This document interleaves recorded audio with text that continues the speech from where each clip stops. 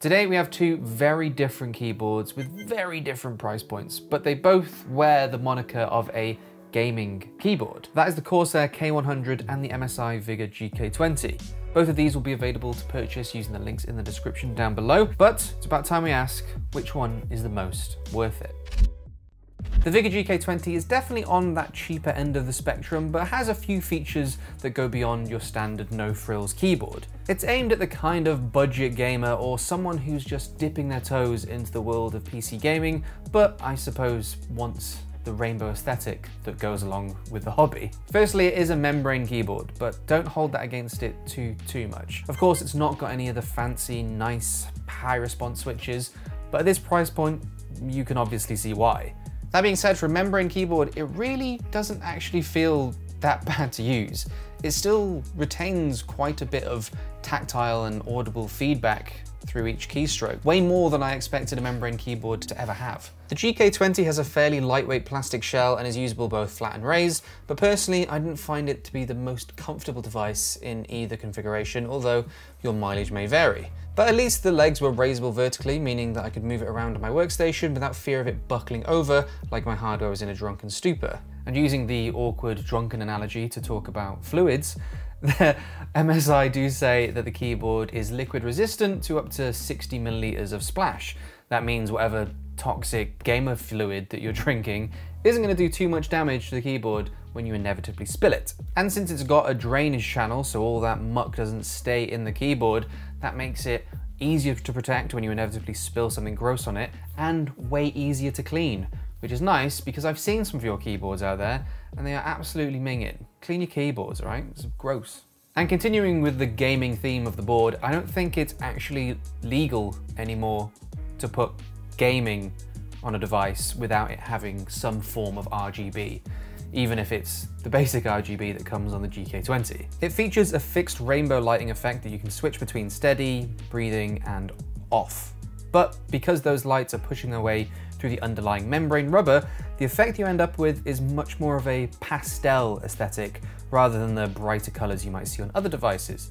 But hey, some people might prefer that vibe. Like I said though, the options being on, off, breathing, the inability to actually change any of the colors means it is pretty basic. And that is a theme that carries throughout the entirety of device. It's basic. It has some basic anti-ghosting on pretty much just the keys that matter, that being where your left hand sits when you're playing games, as well as some, again, very basic multimedia function controls. It's not going to be the fastest or most responsive device you're ever likely to get your hands on, but it's also not something that's advertising itself on the back of giving you a competitive edge in games or hyper fast response times or really high performance keys. And utilizing only a USB 2.0, the GK20 very much knows its own lane. But is basic always bad? I don't think so. With its fewer functions, it means that it's only going to take up one USB slot on your computer, and with its limited RGB lighting, there's no extra software. Some people, I think, are actually going to prefer that plug and play, no frills approach. And for 40 bucks, you can't really ask for much more than that. But what if we bumped up that price to $230? You'd understandably expect a lot more, right? Well, with the Corsair K100, you do get a lot more bang for your buck. Corsair describes the K100 as the centerpiece of your setup. I can't lie, it is a bit of a looker. Obviously the first thing people are likely to notice is that the RGB offerings are a whole lot more in depth. Each key is individually lit and the whole device is surrounded by 44 zones of strip lighting on its three visible sides, casting whatever wonderful lighting sequence you've programmed onto the rest of your workstation. Now those keys, as gorgeous and as well lit as they are, obviously differ a lot to the keys in the previously mentioned GK20, and are in fact the first keys of this type that I've ever used. The model that I've had my hands on utilizes Corsair's own OPX optical mechanical switches. That means rather than relying on a traditional mechanical key, these switches use a beam of infrared light to register actuation. The advantage of this is that the registered key presses are much more precise, can be much more sensitive and has zero debounce, meaning that you can really hammer those buttons as fast as your thumbs and fingers can carry you. Now I must say, the keys on this thing felt so satisfying to use, especially after coming from a membrane keyboard. Corsair say that the K100 can deliver inputs up to four times faster than other gaming devices. Now, I'm not sure what gaming devices in specifics they mean, but I can tell you I felt a lot more fluid and responsive after bringing out the K100. It's incredibly responsive and performs exceedingly well through whatever game I put it through, or during intense typing sessions where I'm trying to hammer out a script hours before deadlines. But I have two issues. One being that the sensitivity of these keys does play to their impressive response time.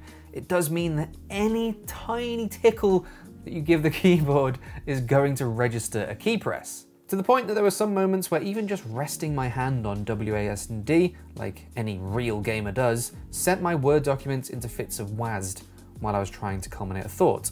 But using the included comfy memory foam palm rest does help take some weight off of those keys, and after a few days, I did find I was getting used to that sensitivity. I promise you though, this isn't the second video where I'm blaming an issue on my fat hands, because the other problem that I was getting cannot be solved with a palm rest or reducing the size of your sausage fingers. And that is the ping that comes from the aluminium chassis whenever you're typing on the keyboard. While its shell provides that beautiful, sleek and sturdy exterior, I found that during most keystrokes, with the return key and spacebar being major offenders, the keyboard will talk back to me with a resonating ping. While you can drown this sound out with your gameplay or headphone users won't really be bugged by it, once I noticed it, I found I was hearing it all the time. It's a shame because otherwise this thing feels like a really great high-end piece of kit. But what might be a minor issue really started to grind at me after a few hours, and now I can't really unhear it. And for the price point of this thing, it's not the kind of issue you'd expect to have. And now we get on to all the other bells and whistles that feature on the face of your board. The first being Corsair's iCUE control wheel. I kind of thought it seemed like a bit of a weird gimmick at first, but once I got to toying with it a little more, I started to love this little round widget. By default, you can control things like the brightness of your keyboard, switch through applications, scrub through audio tracks, or zoom in on web pages, but if you actually delve into the software and program it yourself, you can get this thing to do pretty much anything you can think of. It's another one of those weird wrinkles on hardware devices that you get more out of it the more you actually put into it. One of my go-tos was that I could dash through video timelines when I was editing in Adobe Premiere, and with a little tweaking, I could even bring the functionality into some of my games. And while it definitely wasn't designed this way, I it was it's just really nice to fiddle with. There's there's definitely Zoom meetings where I'm looking down just playing with a round thing. It wasn't designed like that. Corsair didn't put that there for that reason, but it's, it's like you get a free fidget toy on top of everything else. But going back to explore this keyboard's extensive functionality, it also features a full side of six macro keys that are not only programmable to whatever macro you desire, but can also function as a mini Elgato Stream Deck, allowing integration with Elgato software and can be mapped to any function inside your streaming software or for controlling your Twitch streams. And considering Stream Deck Minis are at least 80 to $90 and these six keys nestled nicely onto the side of your keyboard have much of the same features, I think that streamers and content creators are really going to dig them. I tried them out in some of my personal streams and I actually found that for some instances, I preferred those keys over the Stream Deck that sits on the other side of my desk. When I wanted to add some rapid flair, they were just a small couple of inches away, but they're not close enough to the rest of the keyboard that during frantic moments of gameplay, you're going to accidentally reach over, slap a G key, and end your stream.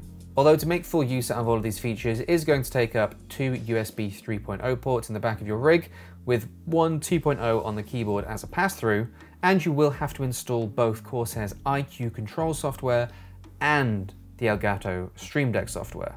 I know having more programs to run can be frustrating to many users out there, but the saving grace is that both of these programs are thankfully very easy to use and in my experience work together with really no issues. And the payoff being getting even more functionality out of this already really feature-rich keyboard, they were installs that I was more than happy to make.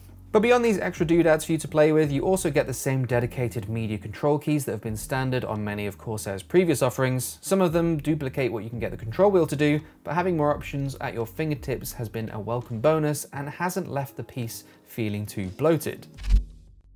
But does all of this warrant the hefty price point for the Corsair K100?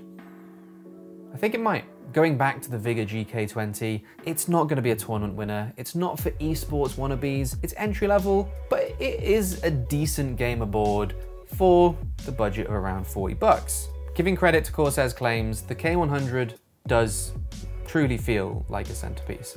It's the most feature rich and probably the best performing keyboard I've ever used, and will probably be my daily driver for a good while.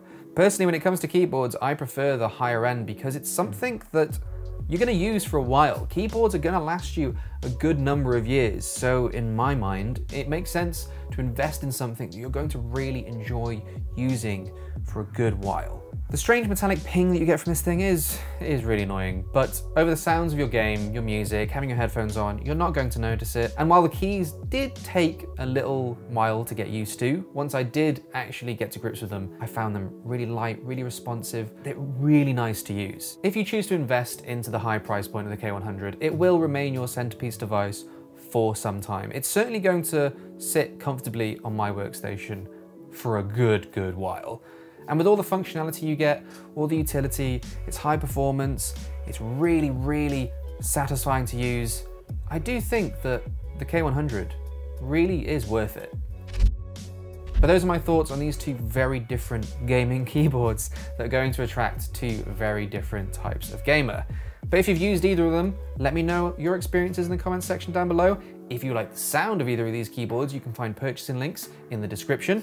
If you enjoyed the video, make sure to like, leave a comment, subscribe for more videos like this one, and I will see you next time.